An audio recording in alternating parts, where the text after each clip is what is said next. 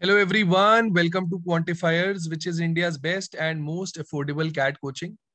Uh, before I discuss the solution for the question, let me quickly tell you that if you're a serious CAT aspirant, then please follow these steps. It will help you a lot in your preparation. Other than this, students, if you want to receive important notifications on your WhatsApp related to different colleges and different exams, then please fill the form given below in the description. Other important links are also there in the description itself. Okay, now let us come to the question. I hope all of you have tried it. Okay, so first of all, it is given that cost of fencing a rectangular plot is 200 per feet along one side and 100 per feet along the other three sides. Area of the plot is given 60,000 we have to find the lowest possible cost of fencing all four sides. So I'm assuming uh, the sides of rectangle as x and y. Okay. No need to draw the figure in exam, but uh, just for the sake of making you understand. So I've drawn a rectangle having sides x and y.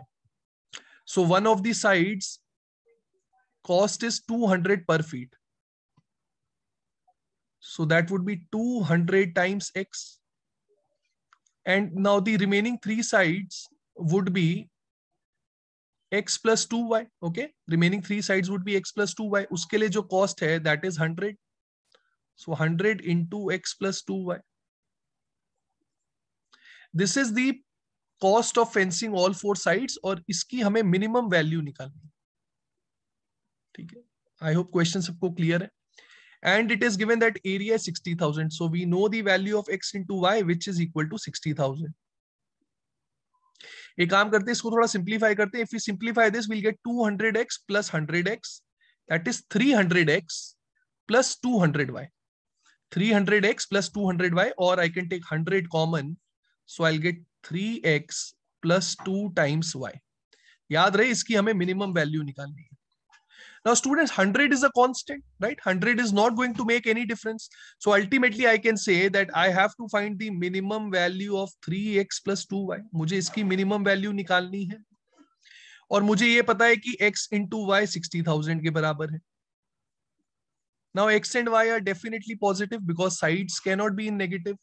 And I hope all of you know that if product is constant, if product is given, and we have to find the minimum sum हमें जो सम निकालना है, वो minimum निकालना है और हमें product given है। तो यहाँ से हमें हिंट मिल जाएगा कि हम arithmetic mean is always greater than equal to geometric mean ये वाला कंसेप्ट हम यहाँ लगा सकते हैं।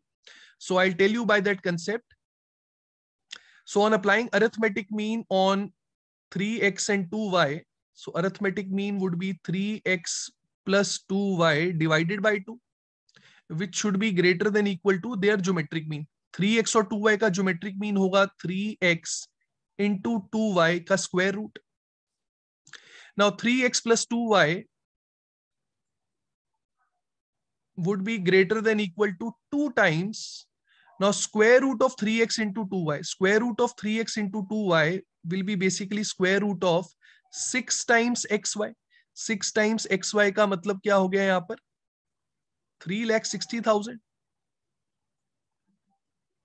So we'll get 3x plus 2y is greater than equal to 2 times 2 times 600. So we'll get 3x plus 2y is greater than equal to 1200. तो मतलब 3x plus 2y की जो minimum value है वो है 1200.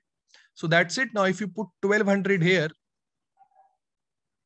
So you'll get the minimum value, which comes out to be 1200 into 100. So 1 lakh 20,000.